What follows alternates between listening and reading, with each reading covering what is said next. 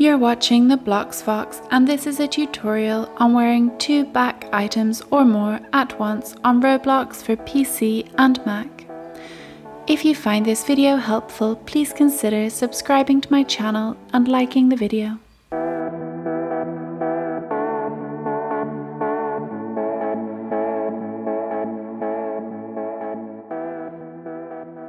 On roblox.com, log in to your account. Then click the three lines button from the top left to open the side menu. Select Avatar from the menu.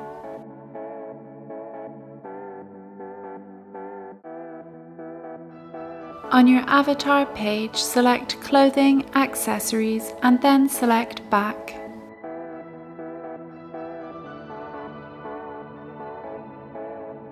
Start by equipping one of the back accessories. Next, locate the second back item from your inventory, and instead of equipping it, click its name to open the info page for the item. Once the item info page has loaded, go to the top of your browser to the URL bar. Look at the current URL. You will see an ID number after where it says catalog. You need to copy this ID number to your clipboard. Once it's copied, go back to the previous avatar page for your back items. Click Advanced.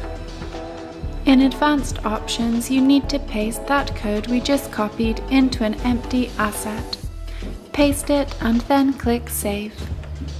That second back accessory or other item will now be equipped, and you will be wearing two of the same item category. You can repeat this for multiple other accessories if you want to. And that draws an end to this tutorial. Please like the video if you found it helpful and subscribe to the Blox Fox for more Roblox tutorials and guides.